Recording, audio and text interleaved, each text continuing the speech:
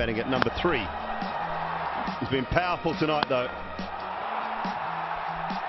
Some big blows leg side. A little bit of fortune now and then. That was huge. And then that one there. Finish off the spell of Odean Smith.